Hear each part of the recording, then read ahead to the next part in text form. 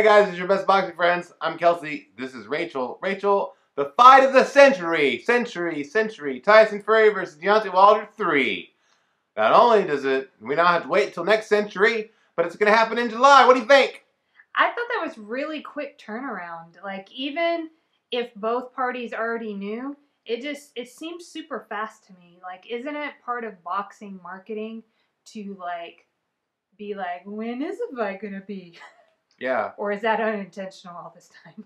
yeah. My first impression when I heard it was, why? Why would they fight again? I think that we have Well, I have that, but doesn't it seem clear that Wilder is not making Is good like- choices. affected by this and maybe like a way I don't know Yeah. that See- isn't healthy or maybe best. Yeah, the story I make up is that he's That's my really over identifying with his ego, which we all do. I've done that. Rachel's done that. Every human being does that. do it every and day. so, yeah, it seems really important. It's of course, as a professional fighter, as a great champion, he's going to want to get his belt back. But I would argue that this is not the way to do that. He absolutely deserves a rematch. He held the title for five years, uh, like half a decade. That's something. But if he really wanted to give himself a bet, this best chance to win, uh, he would need to do things like mm, not fire his best trainer for saving him in the seventh round in a fight that the referee was about to stop the fight too. He would have to do things like, well, who gives me the best chance to win a fight? Who should I look at that can help me work on the things that I need to work on before the next fight? What kind of fights can I get between then that are going to help me work on those things before I get back in the ring with uh, the clearly better boxer Tyson Fury, who had looked better than he had ever looked, and he beat the brakes off me in the second fight, and he boxed my ears off in the first fight when Fury came back from two and a half years out of sport. Had how many comeback fights? I think two, and then Wilder. He's a lot better than he was back then, and he proved it. And I don't think that this is the way for Wilder. If you're just always going to rely on being able to punch hard, eventually in professional boxing, that ain't gonna work. It's not gonna work in the third fight either. yeah. So he, I mean, he, he carried it as long as he could, right? And then he Yeah, had a guy who it didn't work on, and it didn't work, you know, twice, right? Like he. Yeah. what I thought was maybe a way forward, which I just want to say, not me, not anybody, not Wilder, nobody knows like what what his future holds. Yeah. So like we can all make guesses Maybe he knocks at like what's best, but like none of us know.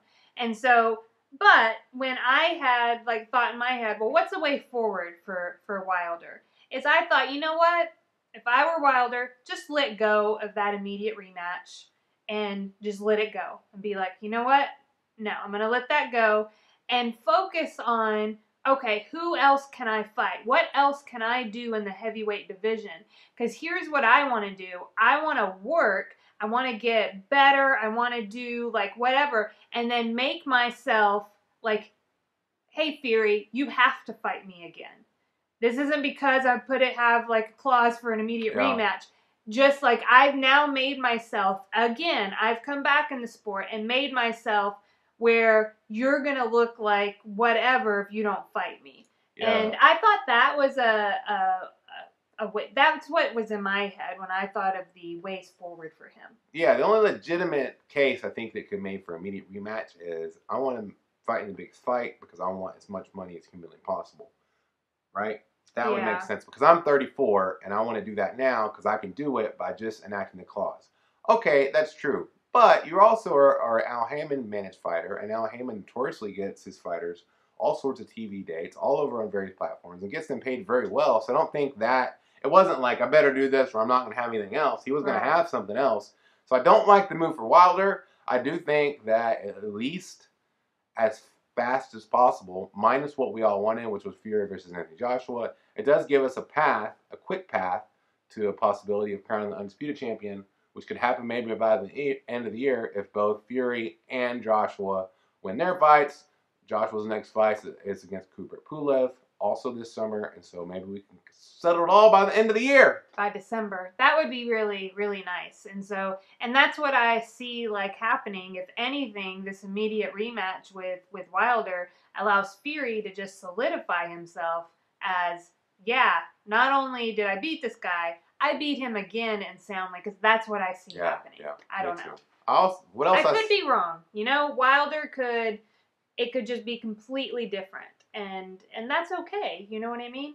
So I guess when I like, I am very well aware that this is very important to Wilder. Well, because we're both Deontay Wilder fans. Like I like Special, Deontay Wilder. It's emotional. I followed his career his whole life. So I would never want like any of this to be like I'm being dismissive Yeah. or don't care about somebody. I appreciate like everything that like he's done in the sport and it's just my opinion. It's my opinion about what the future holds. Yeah, it's also his career. He gets to choose what he wants to do, and I'll sure watch him and support him and whatever he chooses to do. Just like we know that you will like and support us and anything that we choose to do, right? That's what- anything, anything at all. anything at all. Remember it. You will be safe in my new kingdom. What? I don't even know what you're referencing. A new dictatorship. That's the office.